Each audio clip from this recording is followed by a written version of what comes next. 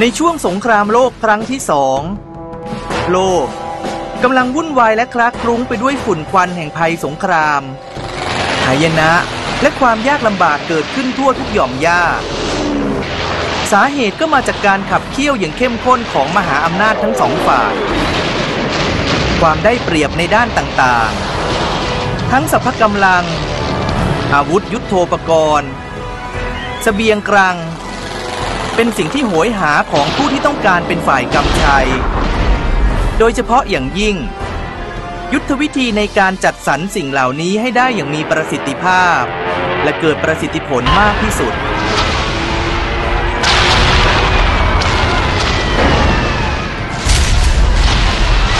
ในช่วงที่กลิ่นอายของสงครามเพิ่งจะเริ่มคลุกกรุ่นลีโอนิดแคนโตโรวิช นักคณิตศาสตร์หนุ่มชาวรัสเซียวัย 27 ปี เริ่มที่จะสนใจศึกษา และวางรากฐานเกี่ยวกับปัญหากำหนดการเชิงเส้น ซึ่งเป็นการสร้างแบบจำลองเชิงเส้นเพื่อใช้หาค่าที่เหมาะสมที่สุด ภายใต้เงื่อนไขข้อจำกัดบางประการ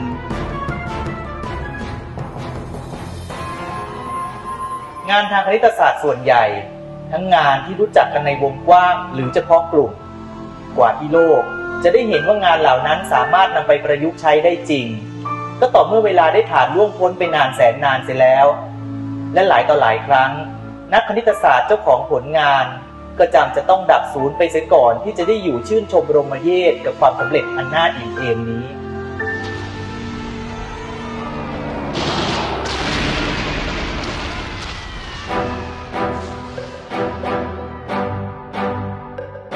แต่เหตุการณ์เช่นนี้ไม่ได้เกิดขึ้นกับงานของแคนโตโรวิช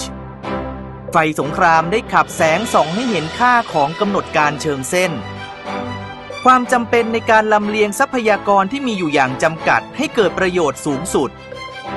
การลดค่าใช้จ่ายในกองทัพให้มากที่สุด แต่ยังคงมีประสิทธิภาพไม่น้อยลงกว่าเดิม รวมถึงการปฏิบัติการทางการทหารที่ประหยัด แต่ให้ผลการทำลายล้างศัตรูสูงสุด เป็นแรงผลักดันสำคัญที่ทำให้งานด้านกำหนดการเชิงเส้น ได้รับการพัฒนาและถูกนำมาใช้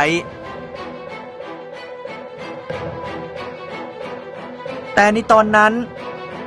โลกก็ยังไม่ได้รู้จักกับศาสตร์ใหม่สาขานี้ พระองค์ความรู้ด้านกำหนดการเชิงเส้น ถือว่าเป็นความลับทางการทหาร จวบจนสงครามสิ้นไปแล้วถึงสองปี จอร์จดานซิก ได้ตีพิมพ์ผลงานเกี่ยวกับปัญหากำหนดการเชิงเส้น โดยนำเสนอวิธีการแก้ปัญหาที่เรียกว่า วิธีซิมเพล็กซ์หลังจากนั้น ความลับเกี่ยวกับกำหนดการเชิงเส้นในการสงคราม ก็ได้รับการเปิดเผยต่อสาธารณชน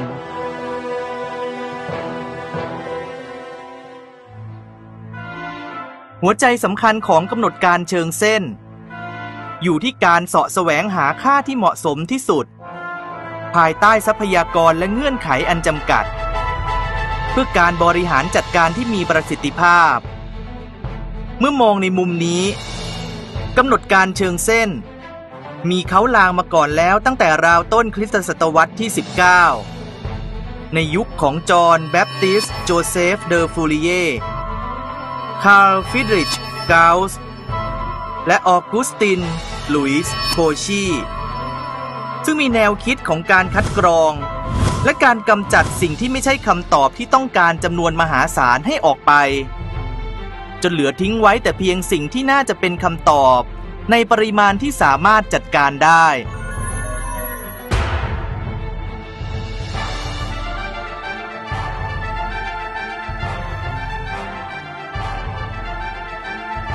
พัฒนาการของแนวคิดนี้ ได้สืบเนื่องต่อมาถึงแคนโตโรวิชและดานซิกแต่การเติบโตของศาสตร์แขนงนี้ ก็ยังไม่ได้หยุดอยู่แค่นั้น หากแต่ได้รับการสารต่อจากนักคณิตศาสตร์รุ่นต่อมา ทั้งจอห์นฟอนนอยมันผู้นำเสนอวิธีภาวะคู่กัน เพื่อใช้แก้ปัญหากำหนดการเชิงเส้น และนาเรนดราคามาคา ผู้ทำให้ทฤษฎีทางกำหนดการเชิงเส้นรัดกุม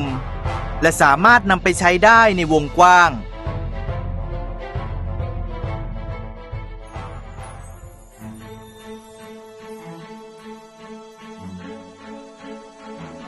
ในปัจจุบันกำหนดการเชิงเส้นถือว่าเป็นหนึ่งในศาสตร์เกี่ยวกับการวิจัยดำเนินการ หรือ operation research ซึ่งเป็นส่วนหนึ่งของคณิตศาสตร์ประยุกต์ เกี่ยวกับการหาค่าที่เหมาะสมที่สุด และประจวบกับในช่วงเวลานั้น พัฒนาการขององค์ความรู้ด้านวิทยาการคอมพิวเตอร์เป็นไปอย่างก้าวกระโดด ความเจริญของประดิษฐกรรมที่พลิกโลกนี้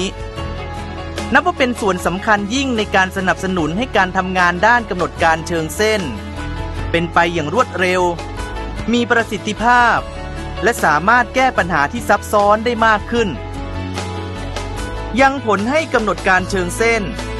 สามารถนำไปใช้งานได้จริง ในกลุ่มงานที่หลากหลาย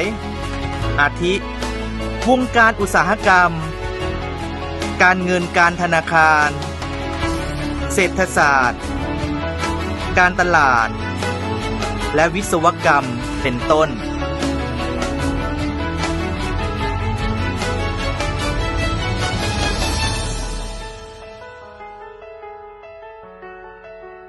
จากประกายความคิดของหนุ่มน้อยแคนโตโรวิช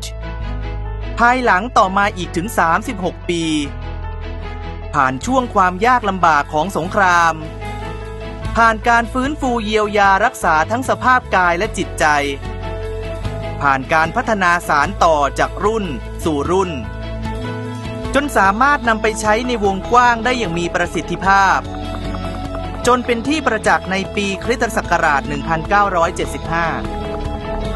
คณะกรรมการมูลนิธิรางวัลโนเบล จึงมีมติมอบรางวัลอันทรงเกียรติ สาขาเศรษฐศาสตร์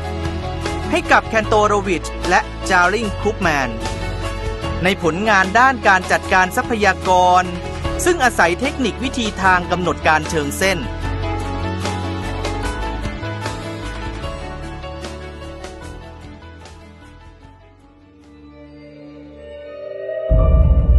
รามเป็นของเลว หากแต่ผลพวงของสงครามที่ถูกนำมาใช้อย่างถูกต้อง กับก่อประโยชน์ให้เกิดกับมวลมนุษยชาติอย่างมหาศาล ดังเช่นกำหนดการเชิงเส้น